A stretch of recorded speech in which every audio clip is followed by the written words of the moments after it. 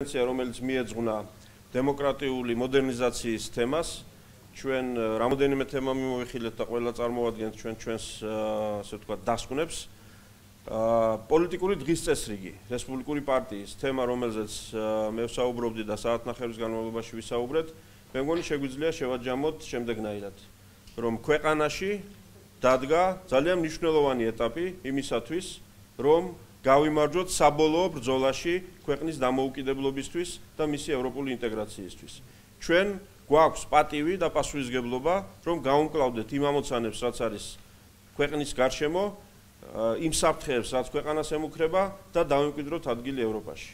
მეორე, არის ყველა პირობა იმისთვის, რომ ერთხელ და სამუდამოდ ქვეყანაში დამკვიდრდეს დემოკრატიული ინსტიტუტების მართლობა და დასრულდეს დემოკრატი ლიდერების თუ ნაკლებად დემოკრატი ლიდერების მართლობა. მესამე შევთანხმდით ჩვენ იმაზე, რომ 2016 წლის საპარლამენტო არჩევნებში თავარი მოთამაშე უნდა იყოს საქართველოს ძლიერი მოქალაქე. და მოქალაქეებმა უნდა გადაწყვიტონ ქვეყნის ბედი და აღარ უნდა მოხდეს ისე, რომ არჩევნებში წარმატება ან წარუმატებლობა დამოკიდებული იყოს ძლიერ ლიდერებზე, ადმინისტრაციულ რესურსზე, ფულზე, გარე ფაქტორებზე, სხვა ქვეყნებზე და ასე შემდეგ. ამისთვის მოქალაქე რომ ძლიერი იყოს ჩვენ დარჩენილ ორ წელიწადში ჩვენს კოალიციელ პარტნიორებთან ერთად კოალიცია ქართულ ოცნებაში ჩვენს თანამებრძოლებთან ერთად ვისთან ერთადაც 2012 წელს წარმოუდგენელ წარმატებას მივახციეთ. უნდა დავასრულოთ იმ საკითხების მოგვარება რასაც დავპირდით ქართულ ხალხს. ამ თვალსაზრისით რესპუბლიკური პარტია პირდება თავის პარტნიორებს რომ იქნება უფრო ენერგიული უფრო მეტად შრომელი, უფრო მეტად პრინციპული და ამას ველის ყველა პარტნიორისგან.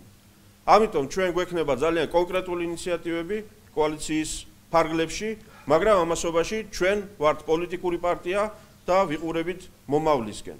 ამიტომ მომავალი ჩვენ წარმოგვიდგენია ასევე კოალიციებში, მაგრამ თვისობრივად ახალ კოალიციებში, ისეთ კოალიციებში, რომელიც დამკვიდრებულია ევროპაში. ანუ იქ სადაც კოალიციური შეთანხმებაა გამსაზღვრელი და საზოგადოებისთვის ცნობილია რატოა ესა თუ ის პარტია ამა თუ იმ გაერთიანებაში და როგორ იზომება ჩვენი წარმატების თუ წარუმატებლობის შედეგ ხარისხი. და ბოლოს ჩვენ შევთანხმდით იმაზე, რომ რესპუბლიკურ პარტიას აქვს ძალიან მნიშვნელოვანი პოლიტიკური ამოცანა.